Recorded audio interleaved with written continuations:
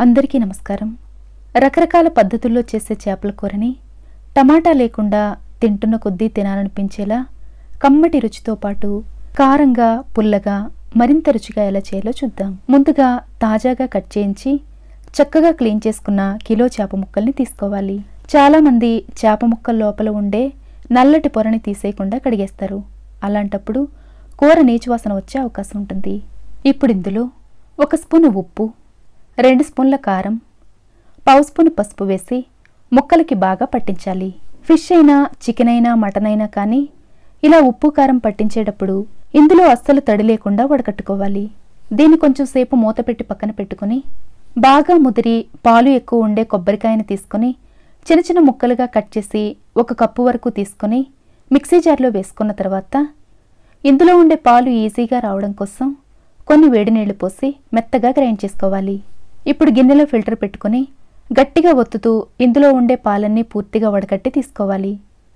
తర్వాత దీన్ని పక్కన పెట్టుకుని పెద్ద నిమ్మకాయ సైజంత చింతపండు తీసుకుని కడిగి వేడి నీళ్ళు పోసి అరగంట పాటు నానబెట్టుకోవాలి.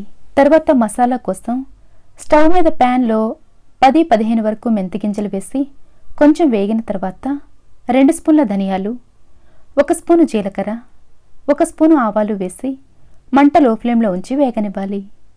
ఇవి మరీ ఓవర్గా ఫ్రై చేసేయకుండా ఇవి గ్రైండ్ చేసినప్పుడు ఈజీగా నలిగేలా వేస్తే సరిపోతుంది. పూర్తిగా చల్లారని వీటిని మిక్సీ జార్లో వేసి అస్సలు పలుకులు లేకుండా చాలా మెత్తగా గ్రైండ్ చేసుకోవాలి. అయితే ఇందులో ఉండే వాసన పోకుండా ఒక గిన్నెలో వేసి మూత పెట్టి పక్కన పెట్టుకోవాలి. ఇప్పుడు ఇదే జార్లో ఒక పెద్ద సైజు ఉల్లిపాయని కట్ చేసిన ముక్కలు ఒక అంగుళం అల్లాన్ని కట్ చేసిన ముక్కలు ఆరు ఏడు వెల్లుల్లి రెబ్బలు వేసి మెత్తగా గ్రైండ్ చేసుకోవాలి.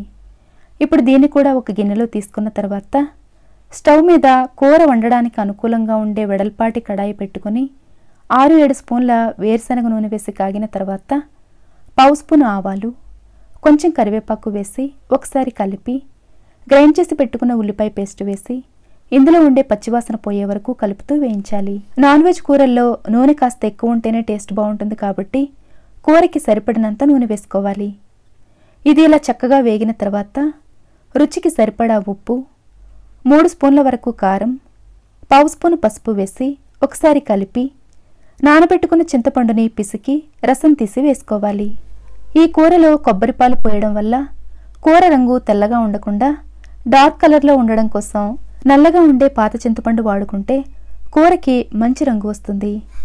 ఇప్పుడు ఇందులో కొబ్బరిపాలు కూడా పోసుకొని కావలసిన గ్రేవీని బట్టి నీళ్ళు కూడా పోసుకోవాలి.